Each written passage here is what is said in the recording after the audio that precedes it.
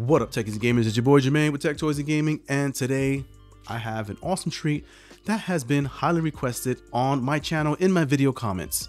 So, what is that device that is seems to be so popular to me, and rightfully so because it's a beautiful looking device. And the device is the Fifine K688 XLR dynamic microphone. That is correct. Awesome microphone for your podcasting, your streaming, your gaming, any sort of content creation you may have, such as YouTube content creation like this. We're going to take a look in our typical fashion on Tech Toys and Gaming. We're going to do our pop filters, check the hisses, and just check the overall audio quality of this microphone. Perhaps do a little bit of keyboard typing if it's, you know, going to be used for gaming. I'm sure you guys might want to know about that. And we're going to do a little bit of distance testing because I know these dynamic microphones trying to get your audio to get picked up pretty decently at a distance isn't always that easy, right? Because uh, they tend to be a little bit more quiet than and lower pickup than condenser microphones, and rightfully so because it does a great job at mitigating ambient noise, background noise, fans, PC fans, ambulance in your backyard. And particularly for me, I'm interested in seeing how it compares to the Fifine AM8 because this has been my go-to for quite a few months and it has not been disappointing in the least. I love that I can record with this microphone and do little to no post audio editing. I can literally record with my AM8 right here with this video and not have to touch the audio and export it and it's ready to upload. That's the beauty of having something that sounds so decently well, so good as the AM8. So without further ado, let's go ahead and jump into the unboxing and see what you get for your hardcore 70, 80 bucks for such a cool looking microphone like this. Let's do it.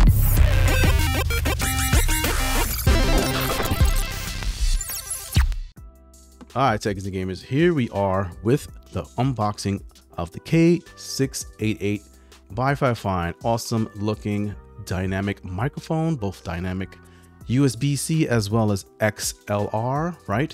We have dual input functions going on here, so quite nice for awesome versatility, shock mount, and has a nice little SMB uh, look to it, right? So we're gonna see if you don't need to spend $6,000 on a mic and you could just spend $70 on something like this. $80, depends where you buy it. UK, US, China, all these prices are always a little bit different, a little bit of fluctuation. So let's see what we got in this box. Boom, awesome flying saucers. This is, you have your instructions, which is what we always will need for getting set up. This appears to be a very elaborate set of instructions here. Uh, fully woo fledged instructions, right? So if you're not sure how to set this guy up, then Fifine has got you covered from front to back. All right, but if you don't like looking at extensive instructions, you can just watch videos like this. All right, and flipping over the top here, ooh, this is a pretty thick covering here. So took quite the measure to make sure that this microphone was nice and secure and it gets to you nice and safe and not destroyed. Looking in the box, we have our nice weapon style looking microphone, an XLR microphone by Fifine dynamic microphone. I kind of like these dynamic microphones and this thing feels like really good quality just off of this first time touching this device. This thing is 100% metal right here. Metal body. Nice little windshield you got here going on. This feels, ooh, velvety and sweet. This feels like uh, something I should be going to bed with, like a blanket. What? And the shock mount itself is, it looks plastic.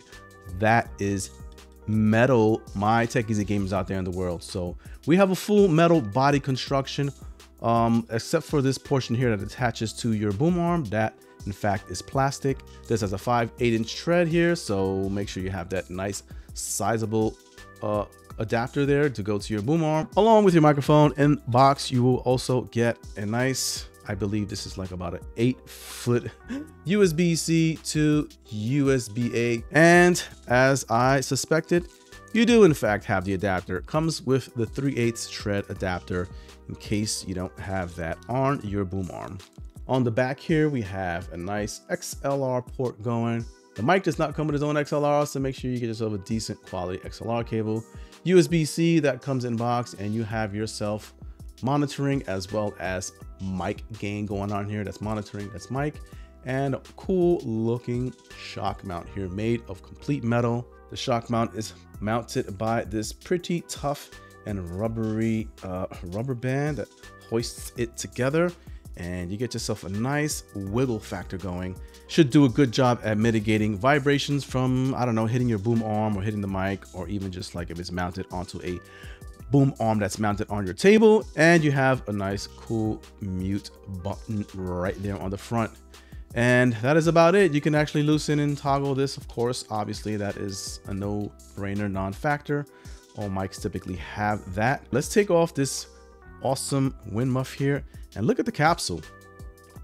Looking closely at the capsule's location, you will see it is relatively close to the front end of this frame. So speaking close into it, this capsule will be very near and dear to your mouth. What?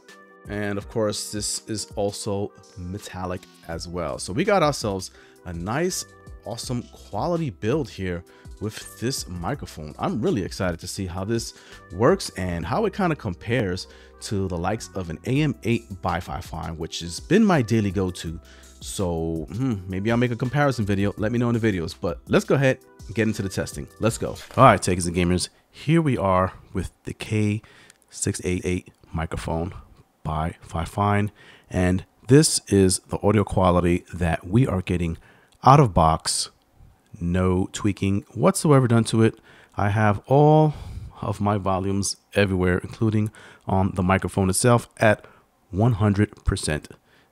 Can't get any louder than this. And I'm pretty close, I would say about four or five inches away from the microphone. And I do see in my OBS settings here, talking at about four or five inches away, I am already in the red zone. So yeah, this comes in pretty loud, but I'm also pretty close but otherwise this is the quality. Hearing it in my monitoring, it doesn't sound loud to me in the monitoring. I actually have my monitoring pretty loud and it sounds probably lower than what it's sounding like on the PC. But let me adjust some settings here. I have this audio way too loud, so I'm going to actually drop it down. Uh, first on the mic itself, I need to lower that gain down a little bit. You can hear some of the handling, right? Touching it, shaking the mic. Now with somewhat, took a little bit of tweaking to get the ideal gain here, but I got it. So with that said, let's go ahead and try plosives to give it a fair shot. Here we go. Peter Piper picked a pack of Pepsis, popped them and poured them into a pitcher violently, just like that. What? So looking at my levels here in OBS, the uh, levels were not even dipping into the red so much. So I at least did not clip, and I'm probably sure there is no distortion. Let's do a little bit of hiss test because I noticed some of that. Eating salad with snakes and serpents sounds delicious and delectable. what? Delectable? I'm just making words up now. I do notice some level of hissing, but I'm pretty much up on the microphone, which is kind of where you want to be with microphones of this type to get the best capturing, the best audio from your vocals because it can really capture more of those nuances and more of your bass if you have bass in your voice. Guys, what? Let's go ahead and do a little bit of distance testing. Now, this is a dynamic microphone, so I know once I lean back, my audio is going to drop out quite significantly because these dynamic microphones do a great job at mitigating not even that far of noise like ambient noise and my PC fans and my HVAC over here. So what up, techies and gamers? So, what do you think of this microphone? I think it's fantastic so far. Not too much over the top impressiveness, and it's not underwhelming either. It's just right where you kind of need it to be. I want to see if I can make this thing sound even more crisp. Let's kill out some of this background noise and add a denoise to this microphone. All right, here we are in OBS. I'm going to go ahead and apply a noise filter here to my K688. We'll go to filters apply a simple little noise suppression filter. Now, once I click OK, it will kick in like right now. All right, Texan gamers, here is the K688 with a little bit of noise suppression going. How does that sound? Did that improve the no the quality of the audio without the noise happening in the background? It typically always does, no matter which microphone I have, because now I am not competing with ambient sounds. And being right this close to the microphone is probably where you're going to get the best sounding vocal audio, probably even instrumental audio. As promised, we're going to do a little keyboard test here and see if we're to pick up some of these keyboard strokes on my little wireless Logitech keyboard for all my gamers out there. All right, so let's go ahead and do it with me talking and with me shutting up. What? Here we go.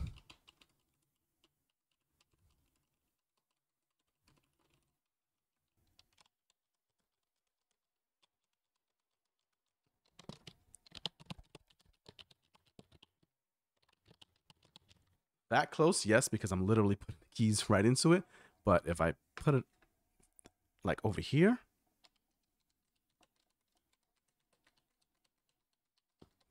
can you hear that? All right, and let's try it with me talking simultaneously so that way the noise suppression kind of opens up a little bit and picks up a little bit more noise as I'm speaking.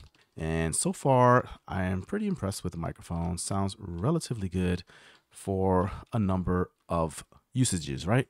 Podcasting, gaming, streaming, that sort of thing, even content creation, of course. That Techies and Gamers was pretty good in terms of mitigating keyboard strokes, and I was pretty much slamming my fingers all over this keyboard. And even then, you would get very little and sometimes no keyboard strokes happening. So impressive, but of course, you'd have to apply some noise suppression. I'm going to kill the noise suppression. We're going to try that without it. No noise suppression taking place.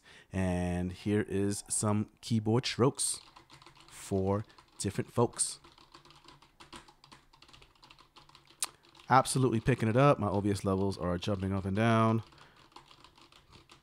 Probably not so bad since uh, since this does mitigate some uh, background noise. To give this microphone yet another fair shot, I want to actually do something that I think will be quite nice and may improve the audio, and that is huh, utilizing it with the Fifine SC3 audio mixer. That's right. This does in fact take XLR.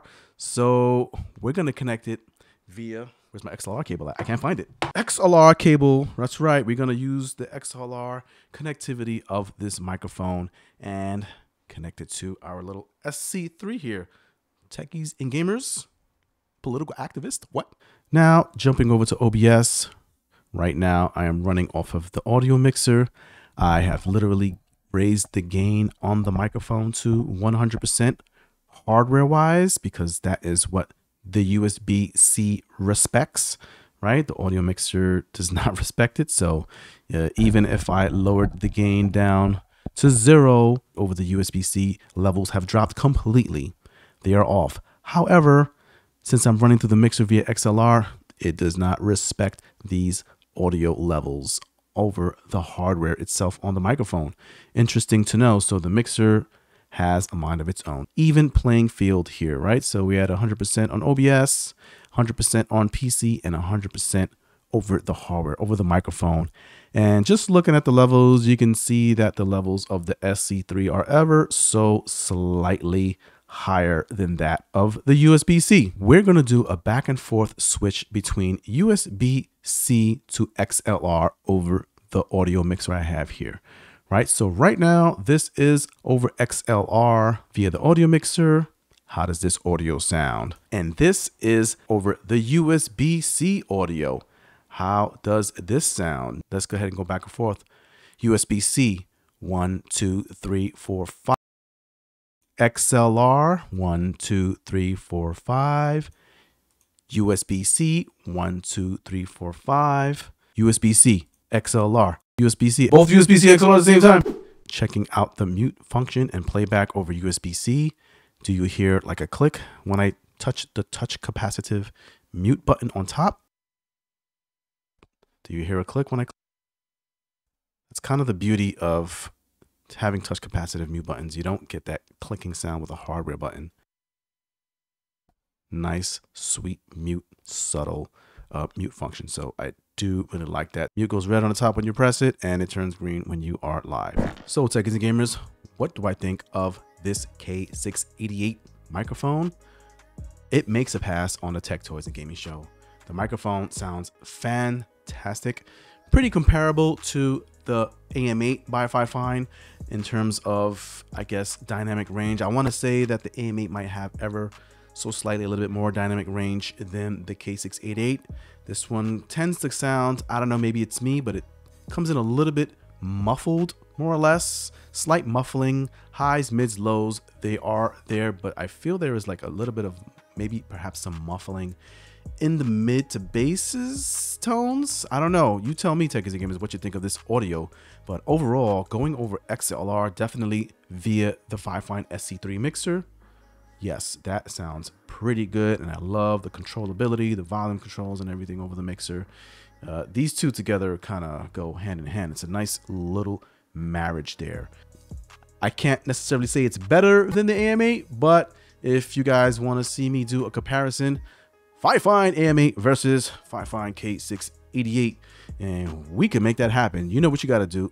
Leave those comments in the comments below, and I will definitely pull that together, I probably most likely will do it anyway, whether you're comment or not. Simply because I I'm really liking this microphone. And if I'm talking about trying to put microphones head to head, it's because they are sounding pretty good and I always want to have the best sounding audio on this channel without having to actually bust and rip my pockets wide open out there for the people in the world. I know a lot of the guys out there watching this a lot of subscribers on my channel are a lot of budget gamers, budget, budget podcasters, and they're not looking to spend hundreds of dollars on a microphone, which you don't have to in this day and age. Save your money. You don't need one of those SMB microphones when you have decent quality and decent uh, hardware builds such as this. It even kind of looks like one of the SMB microphones. So yeah, if you're looking for that look and looking for uh, comparable sound, saving hundreds of dollars, then this is the way to go. Either this or the Fifine AM8. Both of those devices are fantastic. I'm kind of torn between which of the two I want to stick with going forward. I think I'm probably just going to use the K688 for several of my videos going forward and seeing how that works in post-production, right? Because with the AM8, I do very little to no audio post-production. I really just export the audio as it comes in through my microphone. I want to see if I can do that with this. And if I can, I might just stick with this. I don't have my fantastic RGB, but it's probably one less thing I don't have to worry about. It's just the way it's to be. And this is with the voice changes of the SC3. And I made it rhyme with one, two, three. What? I said three twice.